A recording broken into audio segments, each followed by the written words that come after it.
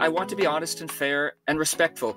I think it's because I've been on the other side as a performer. I tend to look at the top critics, I read their work, and then I read the audience critic because all of them have different perspectives. And I think the multiplicity of voices is what probably going to be seeing a lot more in dance criticism rather than one individual be given that platform.